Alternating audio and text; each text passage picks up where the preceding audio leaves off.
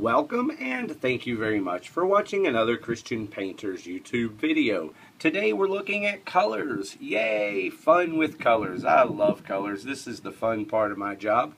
You're looking at a red brick. Let me pan back so you can see all the black powder coating. There's quite a bit of brown powder coating in this brick.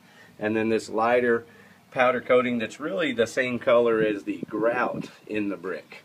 So, looking at the powder coating in the brick and everything that we have to work with, I like this color right here called Down Home, SW6081, and that's what I recommend. If you wanted something lighter, you might go in the same family, a shade or two lighter, but if you want it to be nice and decorative, don't let that color Down Home concern you because it's not near as dark as what it looks like.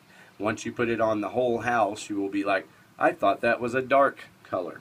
So that will make the home very decorative. It will pull from this soft brown. It's a really nice brown powder coat. It's a beautiful brick.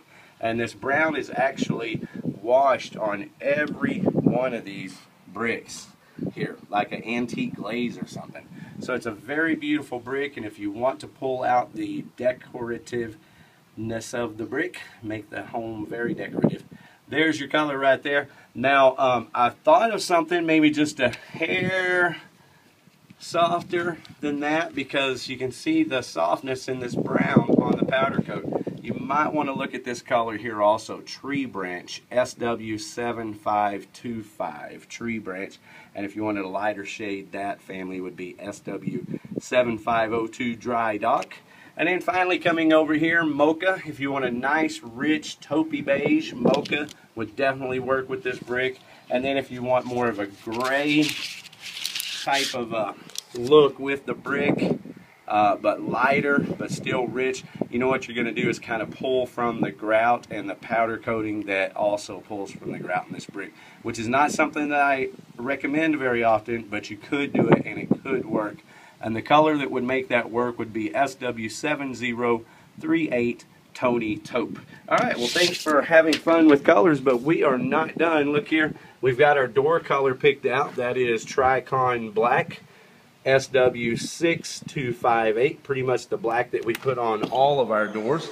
And come on inside because this is a complete interior and exterior repaint here in Midlothian. We are painting for Suzanne Kelly. She is a Century 21 realtor here out of Waxahachie. Well, this is the color that she picked. I did not pick it. She gets the credit. Universal Khaki, SW6150. It's an absolutely beautiful color. You can hardly tell it's a khaki. You have to look at it a couple of times and let your eyes adjust. So it's a beautiful color. Y'all be sure to tune back in and look at all of our videos as we paint this house here. And when you need a professional painter, you already know who to call. Thank you.